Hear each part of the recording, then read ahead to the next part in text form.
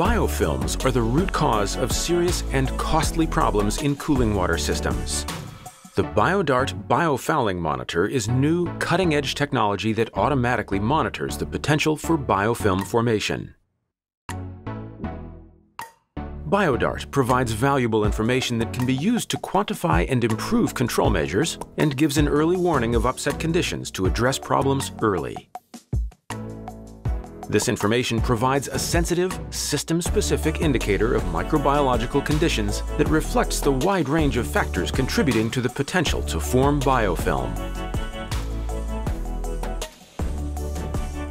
This innovative new technology can function as a standalone monitor, or it can be connected to a ChemAqua web-enabled AquaDart controller.